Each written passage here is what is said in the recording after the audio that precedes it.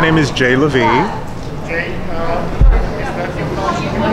No, so I'm assisting Tati. She is the lead stylist for Brooklyn Fashion Week, and we are stepping in for Jonathan Bodrick. He can't be here today, so we're just assisting him.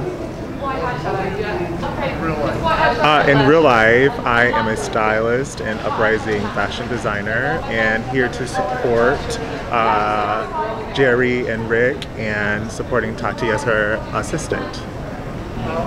Just in case when people you and help them, how does it work uh, a stylist? Rick is a stylist also.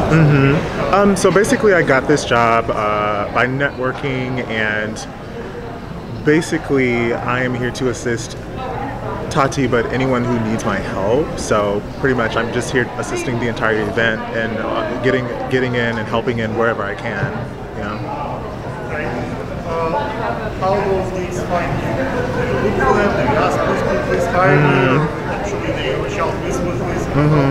Like what's the story? networking, building relationships, uh, gaining trust from your colleagues, and showing that you are trustworthy, that you are dependable, that you are uh, you have an even temper and easy to work with. So a lot of networking, basically.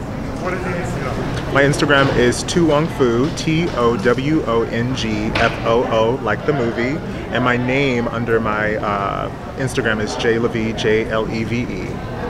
Thank you. Thank you.